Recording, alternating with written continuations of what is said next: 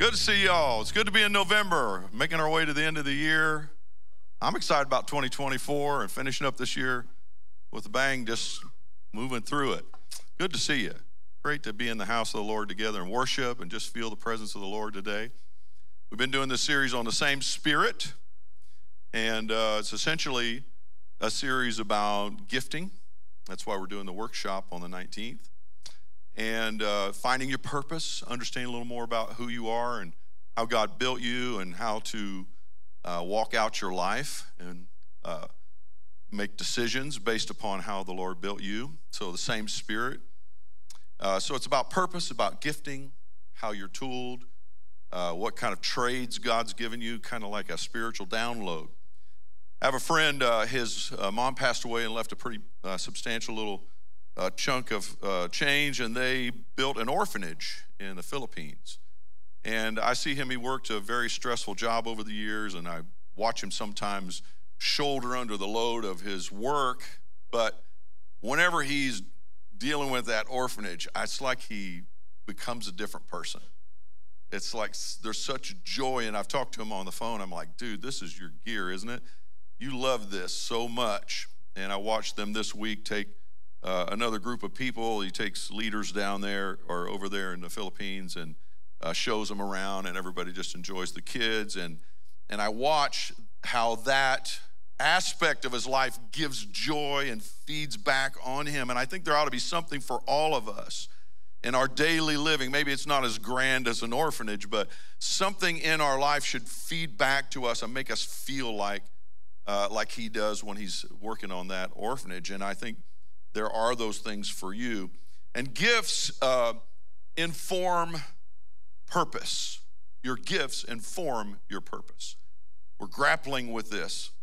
Hey, I'm, I'm 60 years old, and ready to be 61, and I'm still kind of finding my way through it, right? I don't guess we ever stop exactly looking for that perfect place that God has for us. So, grappling with purpose and the gifts inform your purpose. You're gifted to do, have you ever heard this phrase? You're gifted to do what you love to do. Have you ever heard that? I think it's good. It's a good filter. You're gifted to do what you love to do. I'd add to that a few things like you're gifted to do what you have energy for. So, you guys are laughing for what you have energy not for, right? I have energy for sleeping in this morning energy, what you have energy for, like you can work up, you know, nobody has to punch a clock for you or tell you how long you need to stay on it. You're just like kind of can get lost in it sometimes. So, how do you know what you're gifted to do, what you love to do, what you find energy for, what you get good feedback? So, others see you in that realm and watch you work in your family, at work, in your community, whatever it is you're doing, and you get good feedback from people. Thank you. And that really blessed me and that kind of thing. Leader affirmation is another strong one. People that are leaders in your life that go, man, you ought to do more about that. That's cool with you. And so, leader affirmation. Uh, another one that's kind of interesting is what are you critical about? So, you look as others are operating in life in an area that you are gifted in, and you go, ought to do it that way. They ought to do it a little better. And you have some critique, you have some opinions about how it ought to be. That's your gift talking, right? It's a negative, maybe, or it can be fueled as a positive, but first you have to see what's wrong in order to fix it and make it right. So, really, uh, your gift can be talking when you critique. And if you do the wrong thing with it, you know, you, you get negative. But if you realize that that's your gift talking, then that means, hey, go participate, go make it stronger, or do it some way. Emotion is another uh, thing that informs uh, what your gifts are. Kind of uh, how you, you can get excited about something, you can cry about it. And then this last one what drives you to help people? What drives you to help people?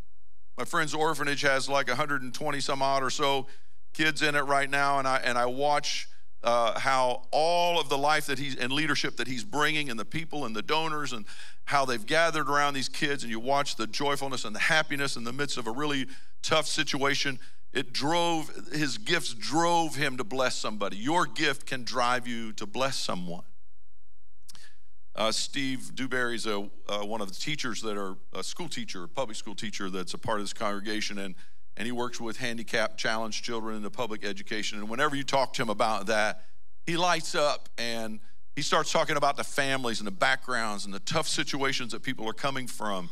And, and he can get lost in the conversation because it's his gift talking. When you go through the New Testament, you see this word charisma, which uh, is a Greek word that's translated gift.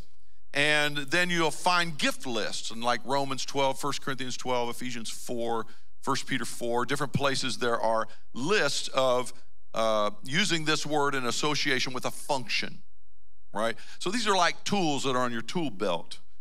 And charisma is gift, a God uh, given ability. And we're highlighting some of those each weekend. This weekend, I want to talk about the word of wisdom and the word of knowledge. The word of knowledge, the word of wisdom.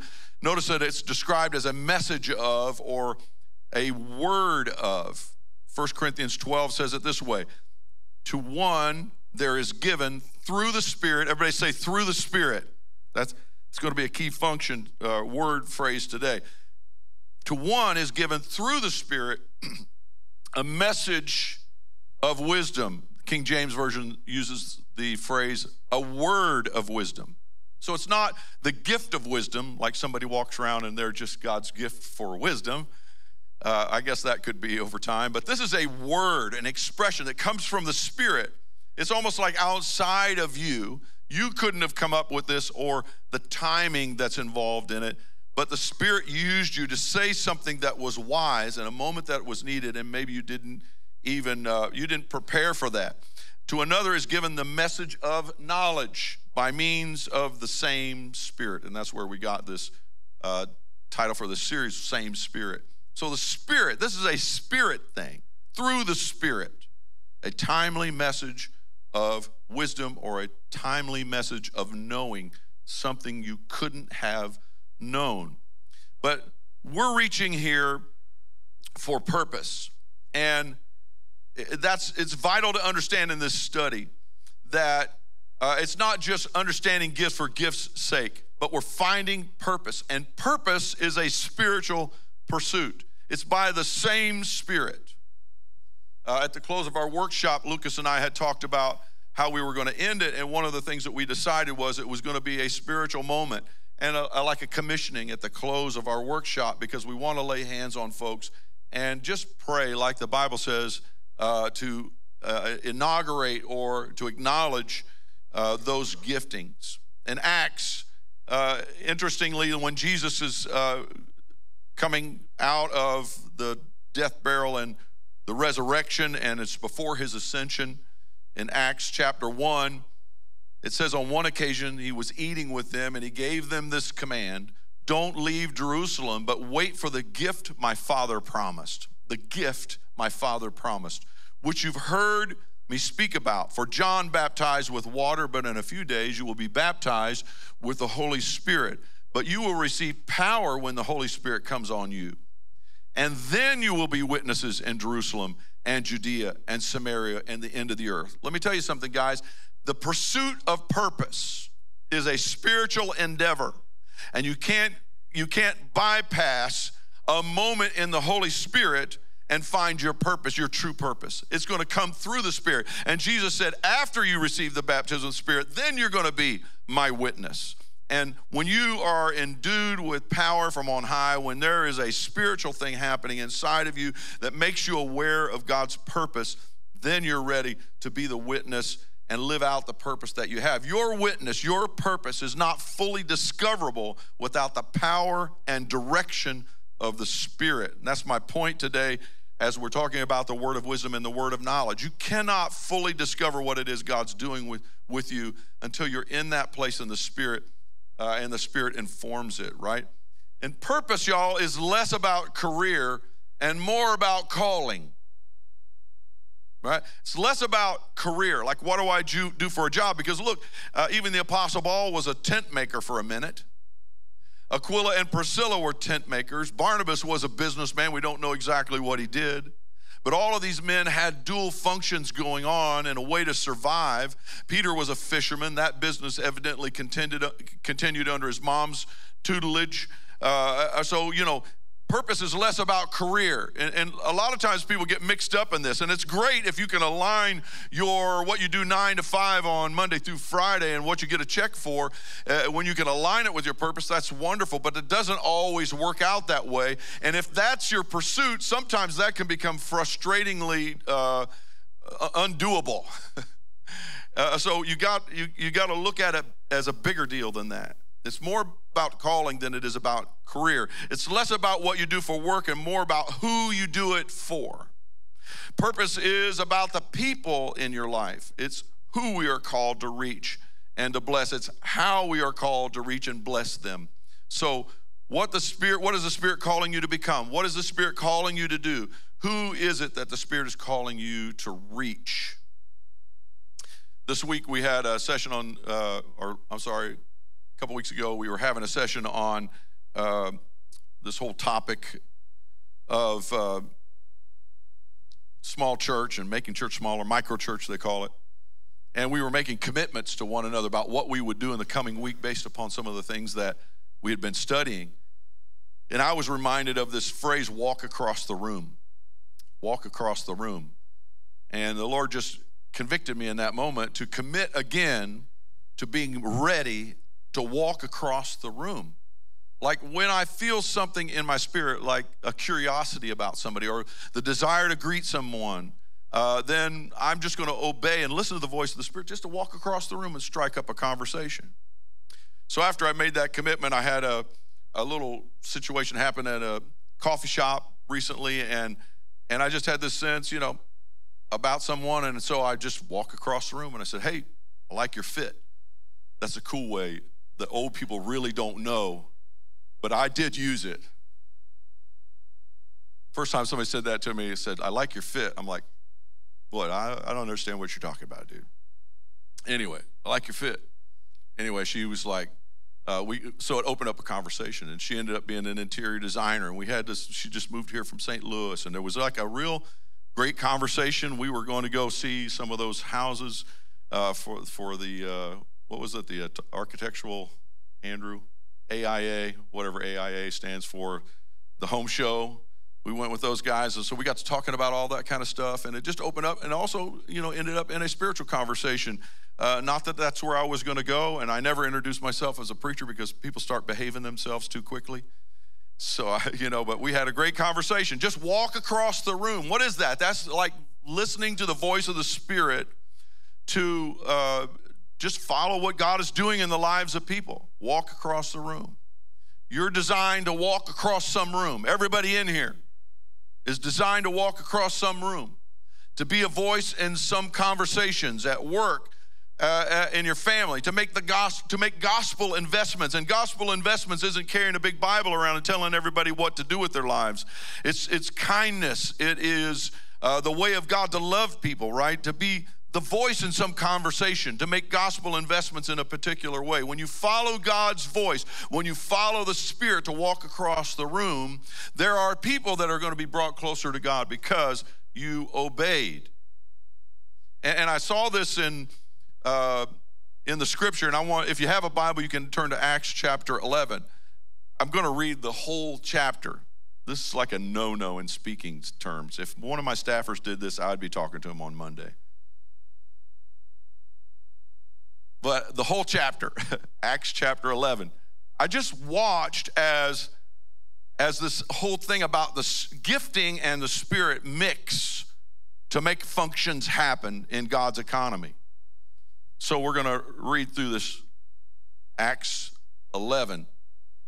The apostles and the believers throughout Judea heard that the Gentiles also had received the word of God. All right? That's a, a loaded sentence. You know that Christianity started among the Jews and they thought it was going to stay among the Jews, but then the Gentiles started hearing the word.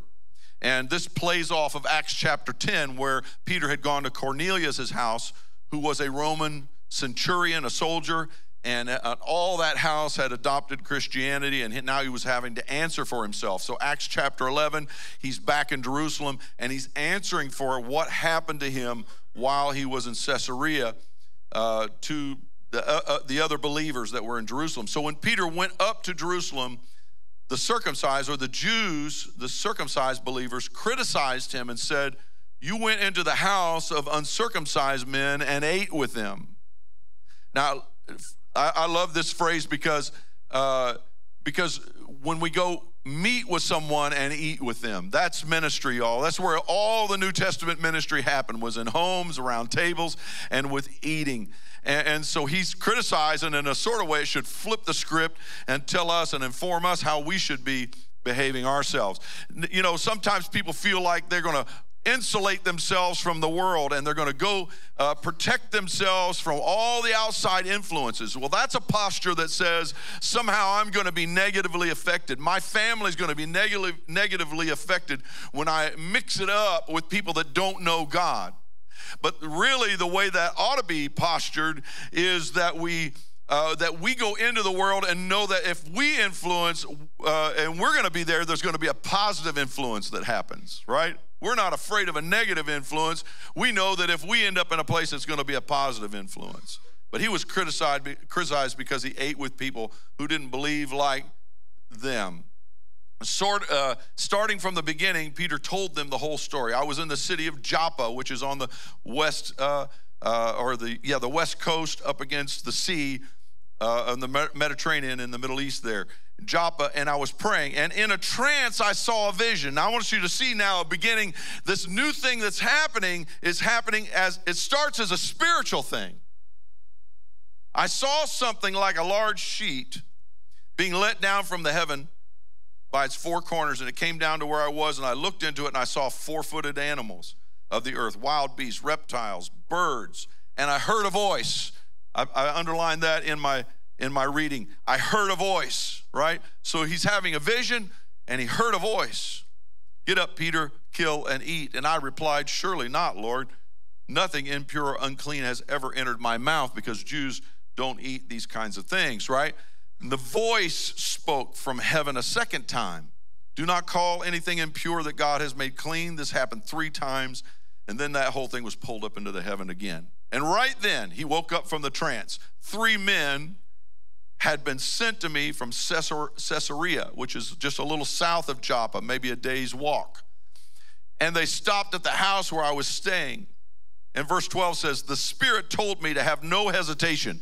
So you, you got a trance, you've got a voice speaking in the midst of this vision, and now the Spirit is speaking in His Spirit and saying, Don't have reluctance about these guys that are standing at your door. He had a little reluctance because he said, Six brothers also went with me.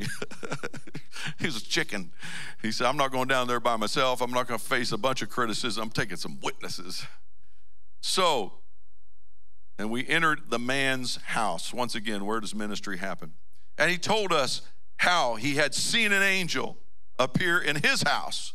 All right, so while Peter's having a trance, uh, this, this Roman centurion is also having a vision and saw an angel in his house and said, Send men to Joppa for Simon, is, who is called Peter, and he will bring you a message through which you and your house will be saved. And as I began to speak, the Holy Spirit came on them as it did on us at the beginning. It's a reference to Acts chapter 2 when the Spirit was poured out. He's saying, same experience. I was just talking, I wasn't doing anything. I wasn't planning on uh, giving the gospel to the Gentiles because I was really suspect about that. But I was just talking. And all of a sudden, the Spirit came on them. I, what was I supposed to do? Then I remembered that the Lord said, John baptized with water, you'll be baptized with the Holy Spirit. So, if God gave them the same gift, the same spirit that He gave us who believed on the Lord Jesus, who was I that I could stand in God's way? And when they heard this, they had no further objections and praised God, saying, So then, even the Gentiles, God has granted repentance that leads to life. Verse 19. And those who had been scattered by the persecution broke out when Stephen was killed and traveled as far as Phoenicia Cyprus, and Antioch, spreading the word among the Jews. What happened here? Stephen got stoned, but the problem was that the Jews were getting upset with these people that were adopting uh, Christ, Jesus, uh, because they were creating drama with the Roman government and the Roman government was cracking down on the Jews because they said, well, you know, you guys should know what's happening in your realm here. And there's this group, and they're like, oh no, they're not Jews. They're not good Jews. They're hypocrites. They're, uh, they're uh, people that are, don't represent us, right? And so the Jews started cracking down on the Jesus followers and they scattered and they went up into Phoenicia and Cyprus and Antioch. Now, the further you go in, in Palestine in Jesus' day, the more you're getting into Greek influence because of the, the merchant roads that went there.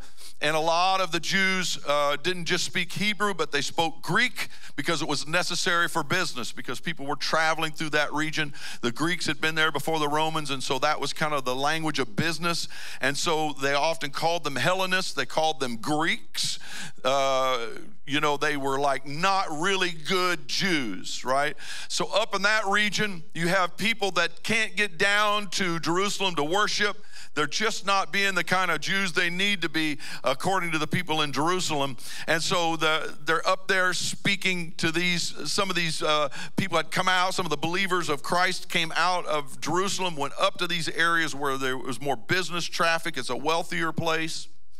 And some of them, however, men from Cyprus and Cyrene, they go ahead and point these cities out because they're clearly not Jewish places, went to Antioch, which was a city that had a big mixture, and began to speak to the Greeks also. Again, the Greeks, they called them, not because they weren't Jewish, but because they spoke Greek and had mixed with the society, telling them the good news about Jesus. The Lord's hand was with them, and a great number of them believed and turned to the Lord. News of this reached Jerusalem, and they sent Barnabas to Antioch. If you know anything about Barnabas, he was also reared in these areas, and they trusted him as a devout Jew, and they said, He can go up there. We believe in him. He'll give us the scoop. And when he arrived and saw the grace of God had done, he was glad, and encouraged them all to remain true to the Lord with all their hearts. And he was a good man, full of the Holy Spirit, y'all, full of the Holy Spirit full of the Holy Spirit. I wonder how often we are full of the Holy Spirit and how many how much of the time we're just full of ourselves. And we're full of our flesh and we're full of all the things that are happening in the world. And our mind is clouded with everything but what is God's agenda. But this man was full of the Spirit. We need to be full of the Spirit, y'all. We need to understand what it's like to walk and hear the voice of God in our hearts. This man was full of the Spirit and faith and a great number of people were brought to the Lord. Then Barnabas went to Tarsus even further to look for Saul. That's a whole nother story. And when he had found him, he brought him to Antioch. So a whole year, Barnabas and Saul met with the church and taught them in great numbers, and the disciples were called Christians there for the first time. And during this time, some prophets, everybody say some prophets. So, in other words, somebody can have the gift of prophecy among us, so many of us can have it, but some have such a pronounced uh, use of it that they become known as prophets, right? So some prophets came down from Jerusalem to Antioch. And notice they said, come down. Well, it's north. And we would say, you go north, you're going up, right? But they say, come down because Jerusalem's on a hill. Anyway, small detail. Sorry to bore you. One of them named Agabus stood up and through the Spirit, through the Spirit, through the Spirit, y'all, through the Spirit, Nothing's happening really in your purpose unless it's happening through the Spirit. Predicted that a severe famine would spread through the entire uh, Roman world, and this happened during the reign of Claudius. And the disciples, each one of them was able that was able, decided to provide help for the brothers and sisters living in Judea around Jerusalem, and they did this, sending their gift to the elders Barnabas and Saul. So you and I are designed for a purpose. And that purpose is fueled by the Spirit that is in us. Julie and I feel a particular calling to our Lionheart parents. We have a 130 some children in our child care center here. We do this as a ministry to our community. It's not just a, a money making endeavor, it's, it's too much work. to, you could do a lot of easier things. But we do it as a ministry to our community. And Julie and I, my wife and I, we feel, which I'm, I'm married. Did I tell you that from last week? You guys want to hear that story again? I just, I don't know. Anyway, you had to listen last week. It's a funny story. I'm not telling it today. But there's just so many people that we care about and have come to know and become part of their lives and their families. Even if they don't come to church here, it uh, we feel a call to bless and to love on their kids and their families. Many marriages that we've uh, you know helped patch up. There's just lots of wonderful people we've met, and that all of that is a part of who we are and a part of our calling. We sense that we belong in that ministry. That it's not. Uh, it, it's just something we need to keep our eyes on. We need to say yes to. Jesus, when he stood up, he said, The Spirit of the Lord is upon me, and the Spirit of the Lord is on us because he knew why. He knew some things about why the Spirit was on him. He has anointed me or designated me to proclaim good news, right? So you've been designated. The word of wisdom and the word of knowledge is something that that happens. Uh, so I was having a conversation with one of these Lionheart parents, and uh, I hadn't seen them together because one's dropping off, you know, the other one's picking up, but they were together because their kid was having a little review with one of the teachers. And so they were together. I'm like, oh, you guys are together. I never get to see you together. How you doing? And I started talking to them and visiting a little bit. And uh, the, the lady, uh, the mom in this couple, she had lost her dad about a year and a half ago in a very tragic, sudden thing. The guy was in his 50s, should not have died. It was just a terrible accident. Don't have time to tell it, but uh, she, but he had passed. And I said, oh, you know, I was just thinking it's I've never had a chance while you guys are together to really express how awful it must be, especially when we're coming into the holiday seasons, you know, to have lost your dad and that he was such an important aspect and factor in your life. And man, I just feel that. And I said, you know, I, I lost my mom uh, suddenly in a car accident. And I said, uh, you know, at the time we were uh, just racing through the funeral process and everything. But I said, about a year and a half later, I was uh, I was in a, I was driving down the road on my birthday and I thought to myself, you know, normally on my birthday, my mom would call me. And it was one of those kind of calls like, Mom, I'm not 12 anymore. You know, she would just like, you know, do the mom thing. And you're like, like, I don't need this, mom, you know. But she would call you anyway, right? And it's your birthday and she didn't make over you or whatever. But I'm driving down the road on my birthday and I thought, my mom's not going to call me today. And all of a sudden, I, saw, I was just flooded with emotion and grief. And I pulled over on the side of the road and I said, I just cried. I couldn't drive. I just had to stop and cry. And while I was telling that story to this couple, I saw the husband kind of look at me all of a sudden like, I thought, oh, I, it's too soon. I've stepped in something. I don't know what. I messed up. I finished the story, but I felt a little awkward, like maybe I'd gone somewhere I shouldn't have gone, you know. And then later on that day, uh, well, the next day he came back and he said, Hey, he said, You couldn't have known, but yesterday was my wife's birthday, and she was really wrecked over her dad. Now, I didn't feel in the spirit anything that was like, give this word, but I'm just saying that God, if you're so fluid, right, in our walk with God, if we're just aware, then things that are coming out of our mouths and the things that we're speaking actually have the hand of God working in them to minister to people in ways we don't even know. We're God's children, y'all. We're full of His Spirit. We speak the things that God has in our hearts to speak, things we couldn't have known, and all of that. So that's the word of wisdom and the word of knowledge.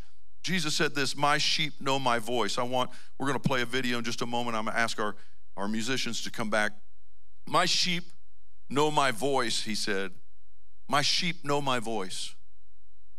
I know them and they follow me. Jesus said, I only speak what the Father gives me. Right? So I think that we should be more aware in our everyday life that we have the voice of God speaking to us. And some of those nudgings and some of those quiet things that you think in your head are actually the Lord working for you to speak. And you don't know what He's been planning in someone's life that your words then become an orchestration of a whole thing that he's doing for someone and in someone's life. I'm going to play this clip because uh, it represents how God is working sometimes already. And if, if you can just meet with what God is doing, I'm not sure who led this man finally to Christ, but know that God was working before someone ever talked to him. I want you to hear this.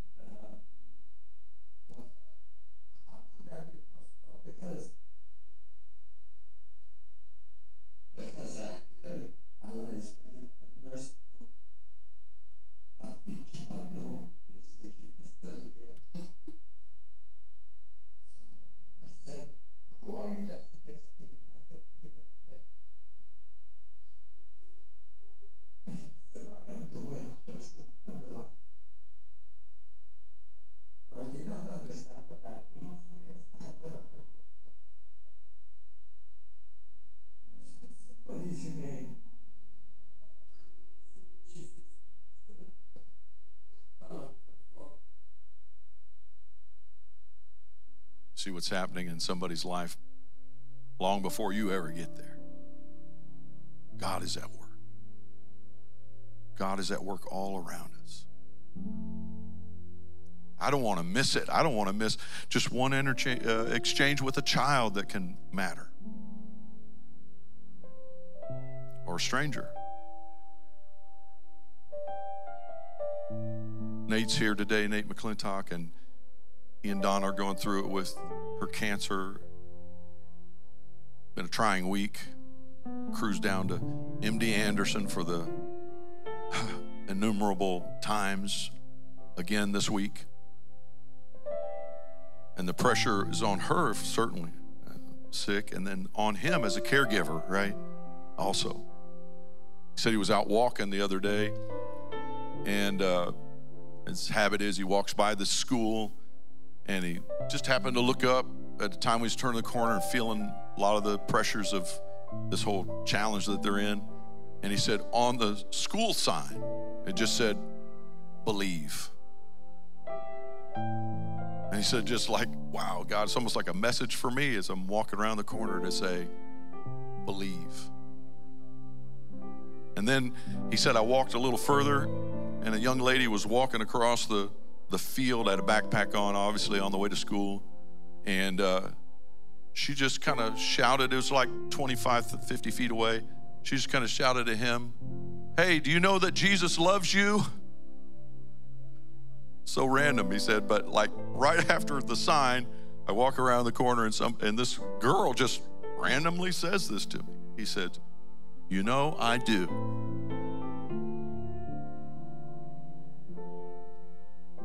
I wonder what's going on in, in, in our hearts today, what God is doing in your heart, what God is speaking about your direction, about your gifting, about what's next for you, about your children. What voice? My sheep know my voice. I know my sheep, and my sheep know my voice. Lord, just wash us. Let's just bow our hearts right now as our singers are coming forward. Lord, just wash us of so much of the stuff that clouds us from the Spirit and the voice of the Spirit. Forgive us, Lord, for our missteps and our sins and our choices that we make that really don't glorify you, God. And let us just kind of clear that stuff away, Lord. And I want to turn our face to you today, God, and say, Lord, I want to acknowledge your voice in my life. These aren't just little nudgings, these aren't just little uh, uh, circumstantial things. This isn't serendipitous. This is the Spirit of God working in us and through us to give us direction. And so that is in the house today. Our prayer partners are coming. Let's stand together and sing this song together.